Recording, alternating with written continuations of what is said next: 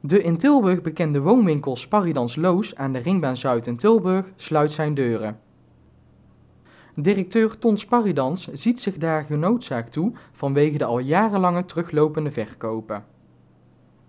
De winkel is al enkele jaren niet meer rendabel. Maandag zelf heeft hij de tien personeelsleden ingelicht van het besluit de zaak op te heffen. Voor hen is collectief ontslag aangevraagd.